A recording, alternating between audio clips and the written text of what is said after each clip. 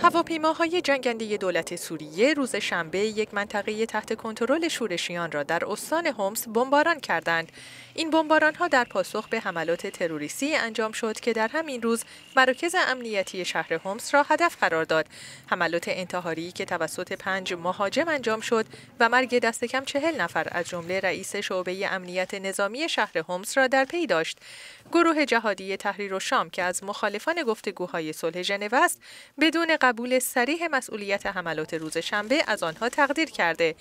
در واکنش بشار جعفری رئیس تیم مذاکره کننده دولت بشار اسد در گفتگوهای ژنو گفت این یک آزمون ملی است و ما امروز از نمایندگان مخالفان شرکت کننده در مذاکرات ژنو انتظار داریم این اقدام تروریستی را محکوم کند.